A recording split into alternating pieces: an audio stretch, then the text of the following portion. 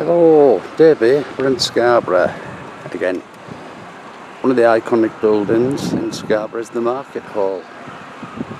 And I'm not going to go into too much detail with this, needless to say. I mean, the 1800s must come into it somewhere. But you can see how it's sloping off down the side. I won't go down there. But what I believe, how these buildings are tarted up, I think the original build, the original brickwork was the red. And I think at a later date, this, you know, front fascia facade's been put on. But have a walk across the road.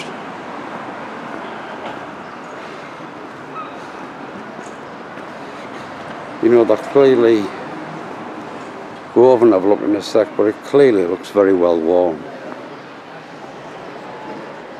It almost looks like there's bars behind there. Steel bars.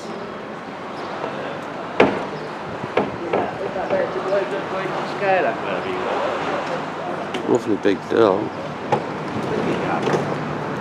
And the emblem of Scarborough, I think. But it's your, your typical sort of Greco-Romano title, really. It?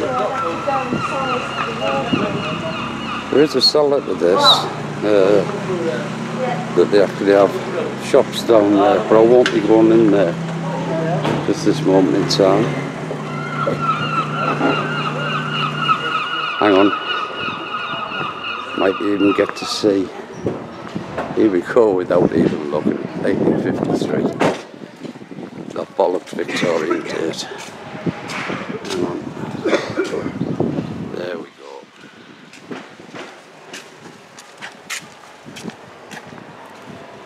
The stonework is uh, really shabby. You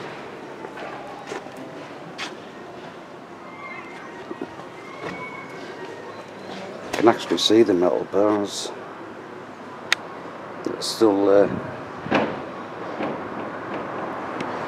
And I'll just show you quickly around the side because uh, as you can see right I cannot understand why there's so much wear here.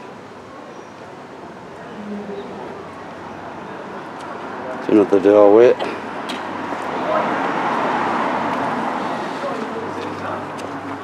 Picked up one at the corner. And a quick look around the side. And right along the side here. I didn't see the further down you go. I don't believe this red brickwork is the original brickwork. Uh, I think when we come to this doorway, I'll show you. I think where this doorway is, is just where it's been charted up. But there's not much on the way of technology I can see on this building. But lovely little place.